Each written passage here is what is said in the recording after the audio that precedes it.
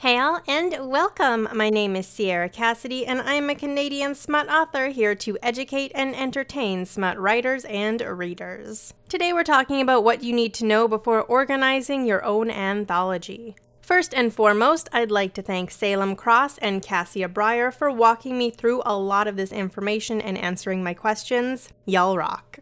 So, you're thinking of organizing an anthology. A good way to get a feel for what anthologies are like is to participate in several yourself before committing to running your own.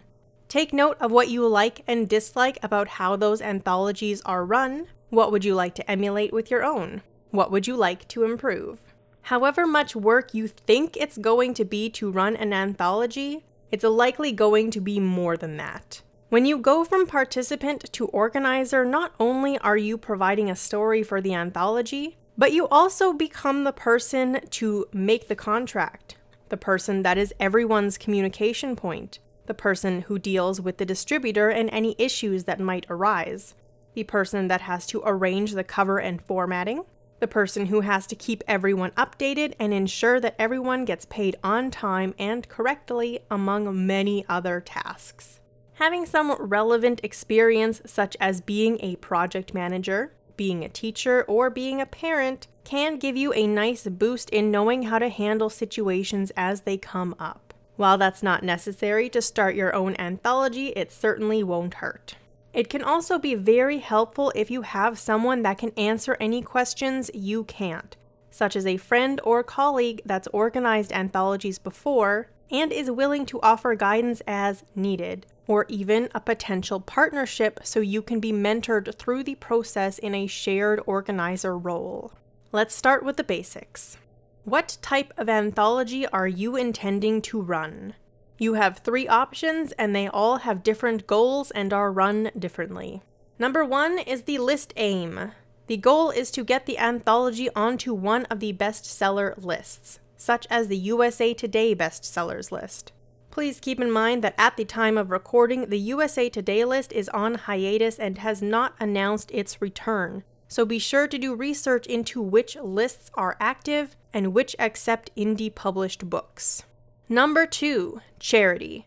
The goal is to raise money for a charitable donation and awareness for the associated cause. You will often see a lot of these pop up in times of crisis. Number three, moneymakers. The goal is to earn as much money as possible for the organizer and participants, and to increase exposure for everyone involved. How are you going to acquire stories for the anthology? There are three main options. Number one, open call. The anthology is open to anyone. You're not going to be reading their stories beforehand. You just have a certain number of slots to fill, and it's essentially a first come, first serve system. Number two, submission based. Authors will submit already completed stories, you will review them, and you will select the stories that you feel best suit the anthology. Number three, invite only. You will have specific authors in mind for an anthology that you know already write stories that align with your goals for the anthology. What formats are you intending the anthology to be in? Most anthologies are going to be available in ebook and paperback, and maybe a hardcover if you want to go that route. Keep in mind that you'll need additional covers for the paperback and hardcover to accommodate for the wrap and different sizes. Be sure that the buy in you select accounts for your plans. Whichever formats you choose, be sure to acquire the rights for those formats from the authors.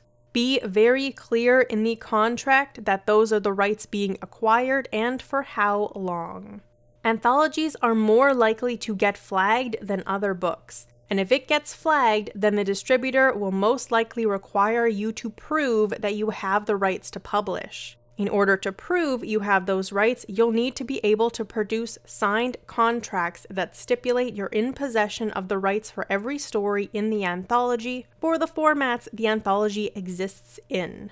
If you fail to produce proof, then your account may be terminated, which is a very big problem for you and for all your participants that are expecting to get paid. How many authors are you intending to include?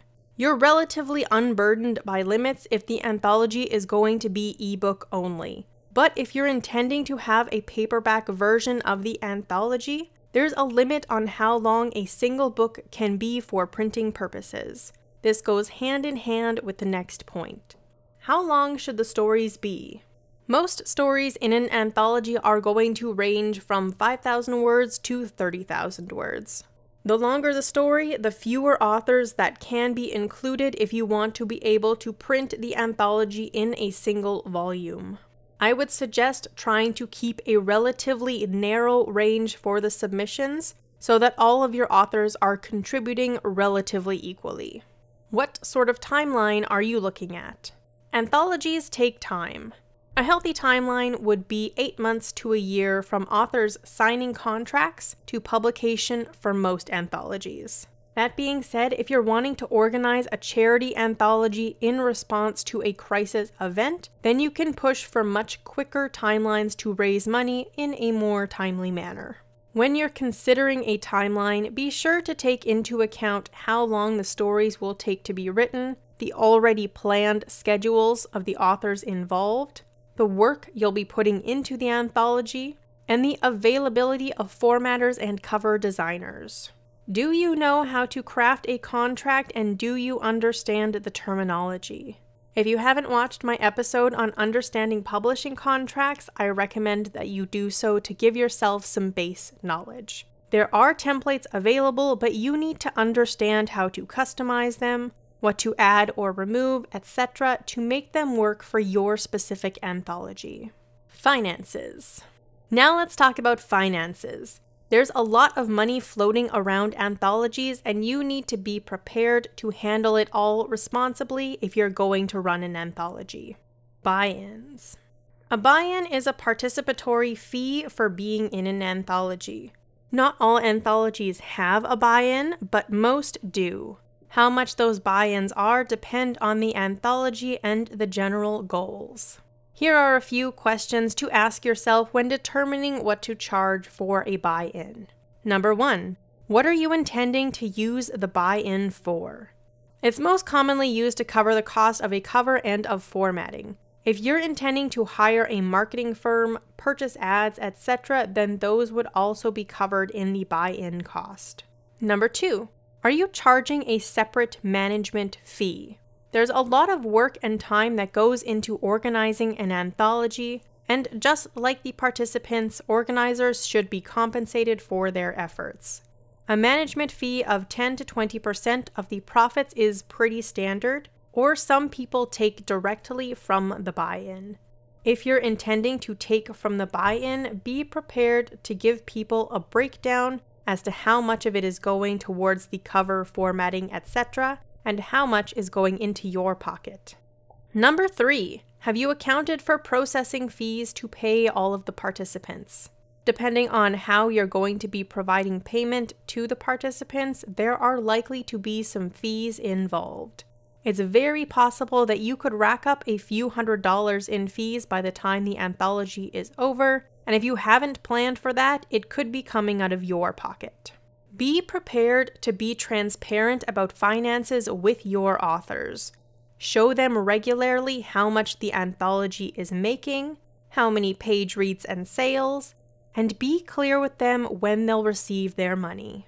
Anthologies are a business arrangement even while also being for fun and community, so you should be prepared to treat it as both. Be professional, but also try to enjoy yourself.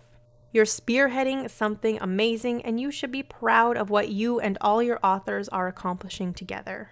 Organizing anthologies is not for the faint of heart, and it is a lot of work. Be prepared to learn a lot through the process, and be prepared for things to go wrong.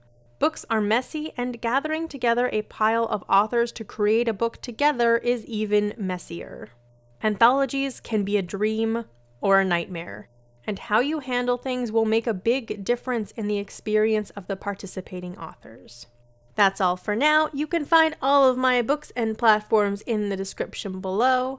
If you have questions or suggestions for future episodes, please do let me know. And if you'd like early access to these, you can join my Patreon where I share them with people as soon as they're ready to roll. Thank you so much for listening, and I'll see you soon for another episode. Bye!